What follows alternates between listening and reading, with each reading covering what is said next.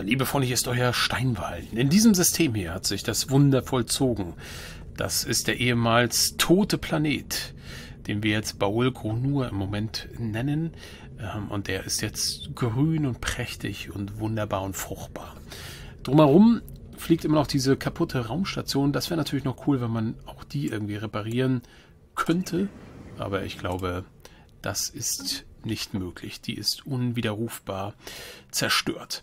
Wir sind in der letzten Folge dieser Staffel und das bedeutet, dass wir am Ende der Staffel, äh, dass ich da wieder zur Debatte ausrufe. Ich werde auch erstmal eine Reihe von Dingen ansprechen, die auf jeden Fall diskutiert werden müssen und ich werde auch nochmal diplomatisch ähm, die wichtigsten Reiche zeigen, falls das für eure Diskussion noch von Bedeutung ist. Ansonsten werden wir erstmal in gewohnter Weise weitermachen und gucken mal ganz kurz hier, was mit Elektra ist, wo wir da was erkundet haben. Ah, okay, alles klar. So, das heißt, ja, wo erkunden wir jetzt eigentlich weiter? Haben wir noch gar nicht bestimmt, ne? Warte mal, ihr seid dort? Ja, nee. Dann ist es egal, wir werden mal diesen, diesen Zweig hier erstmal weiterfliegen und dann schauen wir mal was dann passiert. So, ihr seid auf dem langen Weg hier nach Dwumgar, um die flüchtigen Teilchen endlich abbauen zu können, während hier die Sagan dabei sind, die heimtückischen Sniran einzufangen für unser Alien-Projekt. Äh, so, was haben wir hier? Rivalität. Die Forschungsbäume haben das Jurin-Syndikat zum Rivalen erklärt.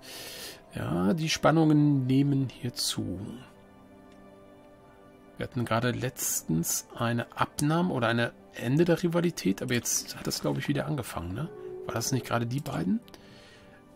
Die Forschungsbäume haben ein Abkommen mit dem Reich der Kultur gebrochen. Das Forschungsabkommen? Okay. Dabei dachte ich doch, die wären gerade auf dem Weg der Annäherung. Hm, dem scheint nicht so zu sein. Tom Gibson hat was entdeckt im REC-System. Hier sind wir jetzt gerade. Ähm, und zwar was? Lebenszeichen. Auf den ersten Blick scheint Leben auf diesem Planeten nicht möglich. Aber unterhalb der gefrorenen Oberfläche haben wir trotzdem Lebenszeichen entdeckt. Dann werden wir das erleben. Und was haben wir hier? Ah, die Reliktaktivierung ist wieder verfügbar. Ich mache es aus bekannten Gründen, wenn wir die 150 Aktivierungskosten haben, auch sofort, damit die 10 Jahre dann relativ schnell wieder vorbei sind. Ne? Das ist ja der Punkt. Können wir nur einmal in zehn Jahren nutzen und umso früher wir das aktivieren, umso besser. Was haben wir denn hier? Wir haben in Baul Kronur zu wenig Wohnungen, aber das ändert sich gleich. Da habe ich, glaube ich, das Richtige in Auftrag gegeben. Naja, das Problem löst sich. Die sind ja halt so plötzlich gekommen, die Nubaul. Die, für die Bäume müssen wir erstmal Wohnungen bauen, Leute. So, okay, okay, okay. Anomalie haben wir uns angeguckt. Wirtschaftspakt ist auch noch gebrochen. Da gibt es irgendwie Spannung zwischen den beiden. Was ist, was ist da los? Wir können uns mal das auf dem Meinungskartensystem angucken. Warum haben die Probleme? Rivalisiert mit Verbündetem. Die Forschungsbäume. Was haben die denn für einen Bündnispartner?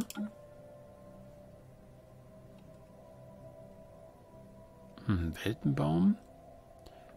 Verstehe ich jetzt nicht. Wir gucken mal ganz kurz. Oder haben die... Warte mal, die haben ein Waffenstillstand, Defensivabkommen, Handelsabkommen. Hm. Ach so, die haben ein Defensivabkommen mit den Jurinnen, jetzt verstehe ich. Und ähm, während die Forschungsbäume, die rivalisieren seit kurzem und deswegen mögen sie die Kitur nicht mehr, ja, weil die eben miteinander irgendwie etwas verbündet sind. Das heißt, meine Hoffnung auf hier so eine Querfront, eine freundliche Querfront, die könnte sein, dass sich die demnächst wieder zerschlägt oder gleich wieder zerschlägt. Naja, mal sehen. Mal schauen soweit. Genau, wir werden jetzt nicht weiter expandieren, weil wir das brauchen und es sind erneut Flüchtlinge angekommen. Auf Journey, äh, nee, nicht auf Terra Lux und auf New Terra. Mhm. Da wird es jetzt echt langsam knapp hier. Ah, wir haben jetzt das neue Gebäude. Das ist wichtig. Das ist wichtig. Das ist sogar, da werde ich jetzt auch gleich das Gebäude ähm, bauen. Den neuen Gebäudeplatz haben wir, das wollte ich sagen. Wir können zwar hier verbessern auf dieses tolle äh, Hauptstadtding, aber wir brauchen jetzt Spezialistenplätze dringend. Und hier war klar von euch eine Priorität Forschung. Das werde ich auch als nächstes dann mal installieren. Und dann haben wir wieder zwei Spezialistenplätze. Dann sollte das Thema hier auch geklärt sein. Und wir sind auf Terra Lux, ne? Ne, wo waren jetzt zwei angekommen? Ne, auf Terra Nova. Ah, der Außenposten wird hier gerade gebaut. Ähm, warte mal.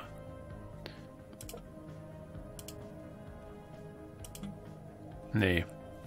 Terra Lux sind die angekommen. Da haben wir sie. Da. Ach, die mischen sich jetzt auch hier munter. Mal, sind, mal kommen die dort und dorthin. Okay, verstehe. Gut, auch hier haben wir einen Spezialisten, der keine Arbeit findet. Ähm, das können wir aber jetzt im Moment leider nicht ändern, weil wir hier keinen freien Slot haben. Acht. Ja, dauert nicht mehr lange, dann haben wir unsere zehn, dann geht's. So lange werde ich, glaube ich, noch ein Distrikt bauen. Eigentlich wäre es mal wieder an der Zeit, einen Generatordistrikt zu bauen, aber diese blöde, Ter diese blöde Geschichte hier ist mir so teuer mit den 1000. Aber weißt, wisst ihr was? Ich werde jetzt mal einen Blocker entfernen hier für Generatordistrikte, nämlich diese 6. Das lohnt sich schon richtig. Einmal 1000 ausgeben, die überfluteten Reaktorgraben wegbringen und wir haben 6 Generatordistrikte frei. Hauen wir das raus. Okay. Gut. Und dann bauen wir nämlich den Generator-Distrikt dort. Ozean unter dem Eis. Tiefenscans von RERC 4 haben unter dem Eismantel, der die Oberfläche bedeckt, einen großen Ozean aufgespürt, der über hydrothermische Öffnungen erwärmt wird. Wissenschaftsoffizier Tom Gibson startete Sonden der ISS Explorer, die sich durch eine kilometerdicke Eisschicht bohrten und darunter wasservolle Leben vorfanden. Für eine gründliche Studie der vielen einzigartigen Lebensformen, die in diesem Ozean leben, benötigen wir zusätzliche Ressourcen. Und es gibt eine, ein Spezialprojekt, das aber vor Ort hier machbar ist. So, was war das? Steuerung Shift, um das vorwegzunehmen? Wow, großartig. Steuerung Shift ist großartig. Gut. Da können wir gespannt sein, was das bringt. Die Zojone hat im Moment nichts zu tun. Ah ja. Genau, sie ist jetzt dort angekommen und hier geht es nicht weiter. Das hätte ich vermutlich auch vorher sehen können. Da geht's weiter. Hä? Von dort aus geht's weiter. Ah, da hätte ich aufpassen müssen. Das hätte man sehen können. Ah, dann, dann flieg erstmal hier hinten. Bevor wir weiter das untersuchen.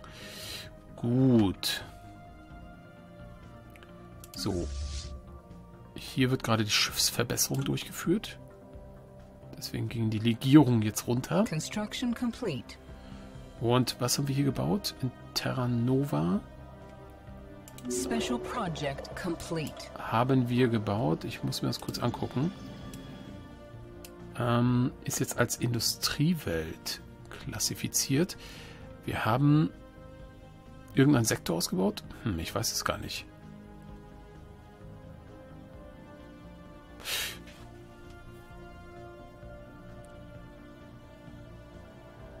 Egal.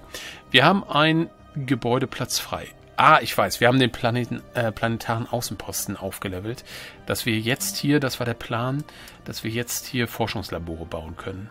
Und das ziehen wir auch durch. Ähm, warum hat er das selbst zur Industriewelt gemacht? Koloniebestimmung wird automatisch ausgewählt, deshalb. Da bin ich jetzt gar nicht... Wartet mal. Baugeschwindigkeit Fabriken, Unterhalt Handwerker. Finde ich merkwürdig, dass er das automatisch ausgewählt hat. Ist jetzt gar nicht das Thema eigentlich. Es kann offenbar keine Kolonie mehr sein, weil wir zehn Bevölkerung haben. Das ist der Grund, weil wir die planetare Hauptstadt definiert haben. Ah, okay. Das ist die Frage, ob wir das eigentlich der Abstimmung überlassen sollen. Ich glaube, das ist eher so Verwaltungstechnik. Ne? Wir machen, kann man das eigentlich jederzeit ändern? Wir machen ja gerade hier, bauen wir Forschungslabore. Deswegen würde ich jetzt eine das als Tech-Welt erstmal bestimmen. Und wir haben die Sniran gefangen. Sniraner sind große, im Boden wühlende Kreaturen, die unterhalb der Dünen der riesigen Äquatorialwüsten auf Xia 4a leben. Wenn diese Raubtiere Bewegung im Sand über ihn spüren, lassen sie in der Hoffnung, etwas Essbares zu erwischen, augenblicklich Dutzende von langen Dornen aus ihrem Rücken schießen.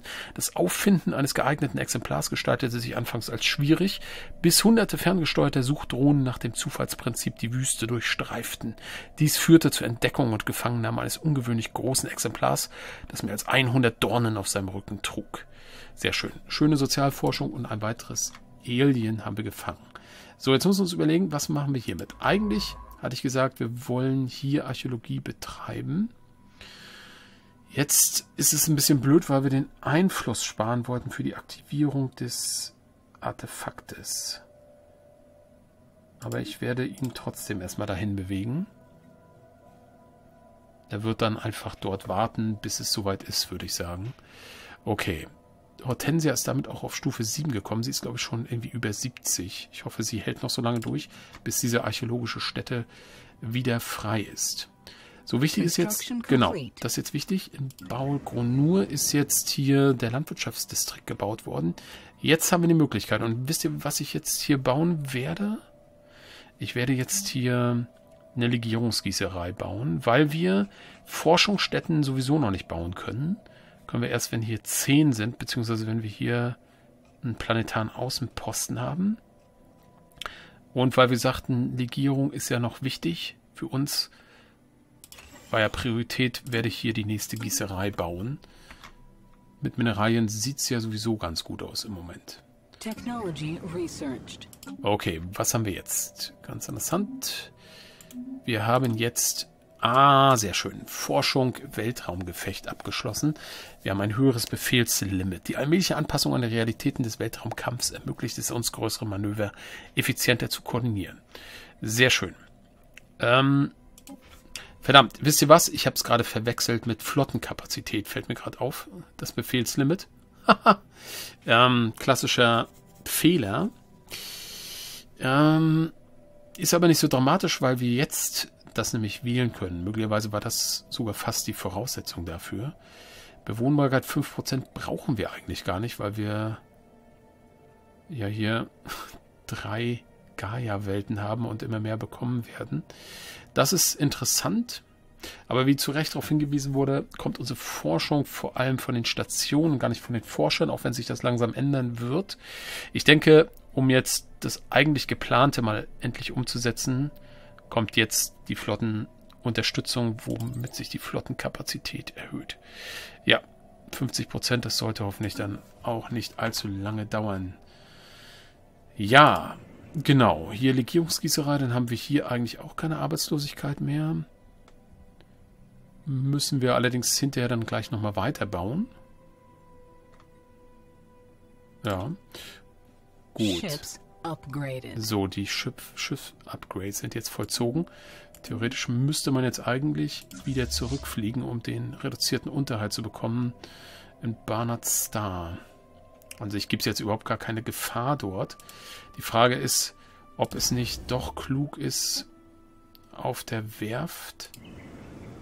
Ah, Quatsch, wo ist die Werft? Hier ist die Werft. Ob man nicht hier doch... Also hier... nicht doch die Besatzungsquartiere auch macht. Weil man hier doch vermutlich häufiger mal Flotten liegen hat. Hm.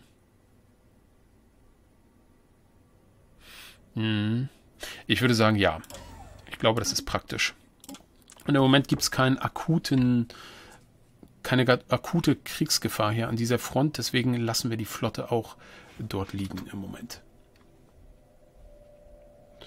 So, alle Schiffe haben zu tun. Das ist erfreulich.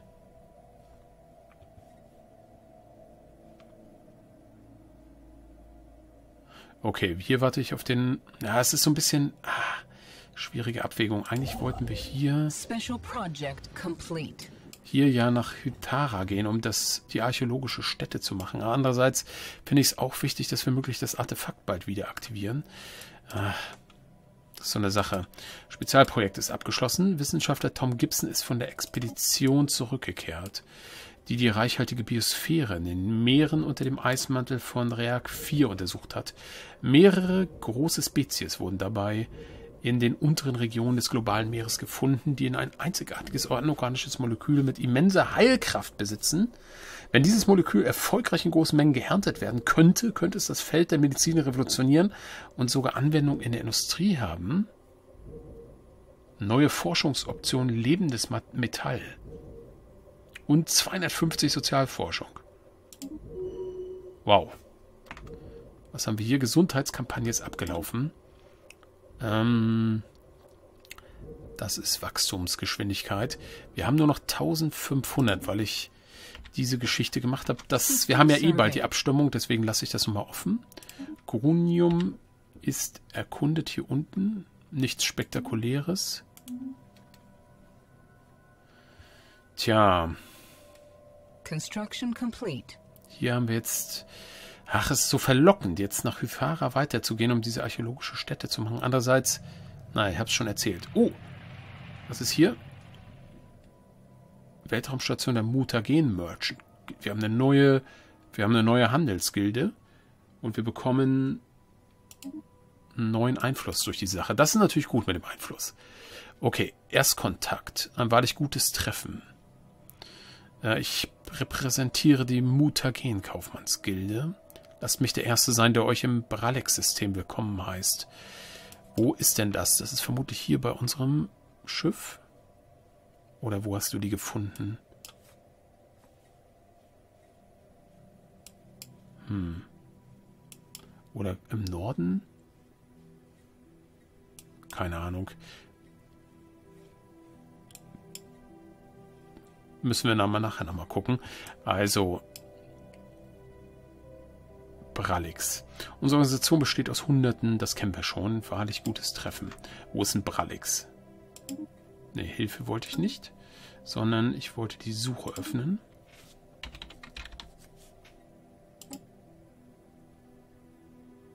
Aha. Warum uns das ist, ist das jetzt uns erst bekannt geworden? Merkwürdig.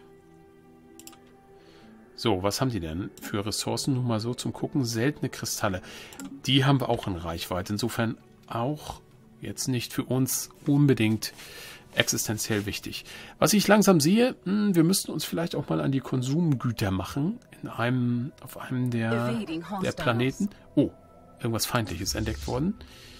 Hier schon wieder Weltraumwolken. Hier, oh. Und zwar richtig große, ein großer Schwarm. Hm. Und wir haben hier einen zerstörten Ring, den wir hier finden. Das bewachen die. Die Frage ist... Gut, sie hauen ab. Dann werden wir uns dort auch nicht weiter aufhalten. Auf jeden Fall ein hochinteressantes System, das noch sehr lukrativ sein könnte. Allerdings sind diese Weltraum Wolken noch extrem zu stark für uns. Das heißt, wir werden hier hinten erstmal die Systeme erkunden. Okay, hier können wir übrigens tatsächlich auch noch so eine Künstlertruppe in unser Reich aufnehmen. Dann hätten wir schon zwei. Aber das ist noch weit entfernt, ehe das soweit ist. So, die Sternenbasis ist gebaut. Wir haben, wie gesagt, jetzt die 150 zusammen. Ähm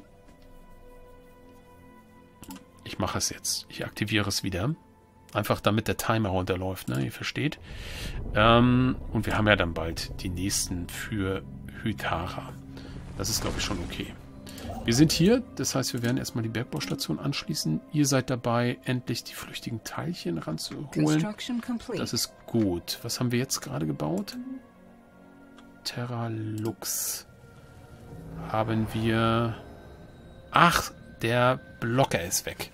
Gut, dann kommt jetzt hier der Generator-Distrikt. Auch wenn uns der keine Spezial, ähm, Spezialistenjobs bringt, egal. Plus 8, da kann man durchaus mal was machen. Würde ich mal sagen.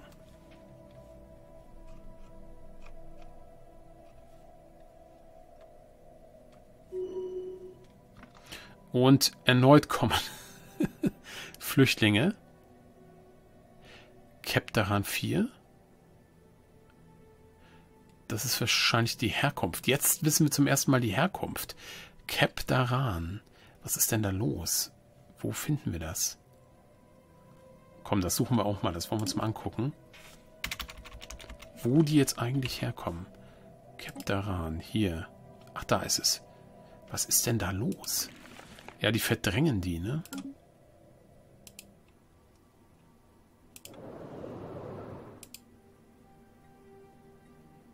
Ja, leider sieht man hier nicht so viel.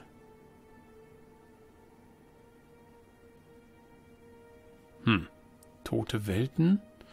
Die haben dort gelebt und die verdrängen die. Vermutlich ist das, was da vorgeht. Ja gut, aber sie kommen zu uns, was von der Sache her erstmal sehr, sehr erfreulich ist. Gut, müssen wir bloß halt die Infrastruktur, wir kommen gar nicht so richtig hinterher, diese Infrastrukturen nachzubauen. Sie sind in Vymos, da haben wir aber die Forschungslabore. New Terra baut auch gerade. Eigentlich wird überall gebaut. Wir kommen schon überall hinterher. Das, das ist schon so. Nächste Anomalie ist hier Tom Gibson. Bewaffnetes Schiff. Mhm. Vorläufige Scans weisen darauf hin, dass sich ein schwer bewaffnetes Schiff im Orbit des Asteroiden aufhält. Wir lägen klug daran, Vorsicht walten zu lassen. Ja, dann lass mal Vorsicht walten. Und prüfe mal die Sache.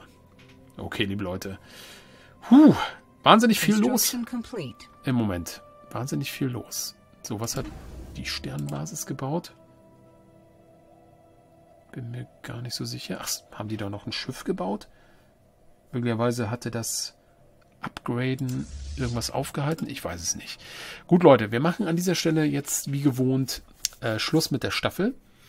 Und Jetzt geht es darum, dass ihr wieder in den Kommentaren eure Vorschläge machen könnt. Ich werde jetzt mal nochmal uns diplomatisch angucken, was hier mit unseren Nachbarn los ist. Die Kitur, mit denen könnten wir einen Wirtschaftspakt schließen. Forschungsabkommen wäre möglich. Äh, Defensivabkommen gerade so nicht, aber das kann sich mit der Zeit ändern.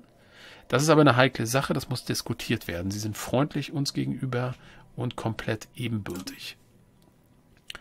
Ähm, die Forschungsbäume. Das Vertrauen steigt, plus 93. Defensivabkommen ist weit entfernt. Das wird nicht möglich sein. Alles andere, naja, Forschungsabkommen ist vielleicht im Rahmen. Und auch Migrationsabkommen ist möglich, aber da haben wir uns ja schon positiv zu geäußert. Wir gucken hier nochmal rein bei denen, die sind ja auch noch relativ nah bei. Minus 190, ganz klar überlegen und unfreundlich. Hier oben, die haben wir alle rivalisiert. Da wird es jetzt auch keine großen Überraschungen geben. Dann haben wir das Jurin-Syndikat. Wie ist da so die allgemeine Haltung zu uns? Null, wegen beiderseitiger Rivalen. Äh, die führen gerade ihren Krieg. Wie steht es da eigentlich bei dem Krieg? Die Angreifer, wer greift hier eigentlich wen an? Die Jurinnen greifen an und sie scheinen auch zu gewinnen gegen die wilden Stämme der Orks. Das ist nochmal eine wichtige Information, denke ich. Wobei ich jetzt noch nicht sehe, dass sie hier irgendwie groß was erobert hätten. Aber die Flottenkämpfe scheinen sie dann gewonnen zu haben. Wir gucken bei den Orks vorbei. Ja. Hier hat sich jetzt nicht viel Neues getan. Und bei dem Schwarm, die sind sowieso eine Sache für sich. Äh, mit denen kann man eh nicht viel anfangen. Okay. Gut, liebe Leute, das ist die diplomatische Lage. So, jetzt, was sind Punkte, die wir unbedingt klären müssen? Erstens, wir haben jetzt sehr, sehr viel Expansionsmöglichkeiten. Ich will einfach nochmal das Thema Reichsausbreitung thematisieren. Wir sind jetzt bei 78. Limit ist im Moment 60. Technologiekosten plus 5%. Das ist alles kein Problem. Die Frage ist, wollen wir jetzt wirklich alles, was wir können, äh, uns ausbreiten? Oder sagt ihr, es gibt irgendein gewisses Limit, über dem wir stehen bleiben wollen, also bei dem wir stehen bleiben, also was wir überschreiten? Ähm, das Limit über dem Limit sozusagen. da bin ich mal äh, einfach mal an eurer Meinung interessiert, wie weit man das jetzt hier ausnutzen sollte. Ob das, was man hier bekommt, das wirklich kompensiert. Ähm, Technologie ist ja vor allem da. So ein Punkt hier zum Beispiel sehe ich, diese drei Systeme bringen gar keine Technologie. Hierhin wieder drei. und so weiter. Das ist schon so eine Sache. Hier ist relativ viel Technologie da. Mal gucken. Dann ist jetzt die Frage, und das ist ein ganz spannendes Thema, wie machen wir das jetzt mit der Kolonisierung weiter? Denn es ist so, dass wir theoretisch jetzt quasi überall kolonisieren können plötzlich, weil wir die Chirni und die Piorin haben, die mit ihrem tote Weltanpassung überall eine Mindestanpassung von 60% haben. Äh, das heißt plötzlich können wir mit denen sämtliche Planeten hier in unserem Gebiet ähm, kolonisieren. Die Frage ist, wollen wir das machen? Das würde einen massiven Einsatz dann unserer Legierungen erfordern, um diese Te Technologieschiffe mit der Zeit zu bauen. Also soll das ein Schwerpunkt werden. Das ist eine heiße Diskussion, die wir führen müssen. Dann das Thema Diplomatie. Wie gehen wir damit um? Was soll hier der Plan sein? Da müsst ihr mal Vorschläge machen. Dann ist die Frage, wie weit wollen wir eigentlich jetzt hier im Norden gehen? Mein Plan ist ja bis Aeok, vielleicht bis Volaeos. Es sieht aber so aus, als ob uns hier überhaupt niemand stört. Ähm, auch hier spielt das Thema Reichsausbreitung wieder eine Rolle. Dann, und das ist natürlich jetzt ganz wichtig, was soll unsere nächste Tradition sein? Ich äh, werde jetzt nicht alles erklären. Hier bitte ich einfach diejenigen, die das Spiel kennen, Vorschläge zu machen. Für die, die das nicht kennen, für die werde ich dann während der Abstimmungsfolge nochmal kurz skizzieren, was ihr da abstimmt. Vorschläge bitte nur von denen, die wissen, was sie vorschlagen. Ja, fünf stehen zur Auswahl, aber wir werden die erstmal voll machen. Dann nächstes Thema, Aufstiegsvorteile. Ja, äh, wenn wir das voll haben, wohin wollen wir gehen? Auch hier scrolle ich nur einmal durch und auch hier nur eine Bitte an die, die sich auskennen, welchen Vorteil wollen wir nehmen. Wenn wir dann mehrere zur Auswahl haben, werde ich das dann nochmal erklären. So, dann kleinere Frage, soll Baul Grunur, soll das Baul Grunur bleiben? Also soll das so heißen oder wollen wir einen anderen Namen wählen? Ähm, ja. Ich glaube, das ist es. Ich habe mir hier noch ein Stichwort gemacht. Basis? Aber ich weiß nicht, was, was ich damit sagen. Ach so, ja, genau. Wir haben eine neue Sternenbasis, die wir bauen könnten. Es ist ja eigentlich jetzt logisch, das hier an dieser Grenze zu machen. Das ist ja, könnte eine heiße Grenze werden. Und jetzt ist nämlich die Frage, wie gehen wir mit den Drohnen um? Man könnte sagen, wir schicken unsere Flotte hier runter und bekämpfen die Drohnen. Ja, die haben eine Angriffskraft von 905, die sollten wir jetzt besiegen können. Und dann könnten wir dieses System uns schnappen und hier die Basis bauen. Oder wir sagen, wir lassen dieses System und bauen hier die Basis. Das müsste auch nochmal wieder diskutiert werden. Okay, ihr seht, ganz viele, viele Punkte sind zu besprechen. Ihr habt bestimmt auch noch einige Sachen, ähm, die jetzt nochmal neu in Frage kommen. Ich habe auch noch so ein paar Geschichten, die wir dann bei der Abstimmung äh, äh, reinbringen. Die braucht man jetzt nicht irgendwie diskutieren. Das sind nur Ja-Nein-Fragen. Ja, also die Sitzungen werden, glaube ich, immer komplexer und größer.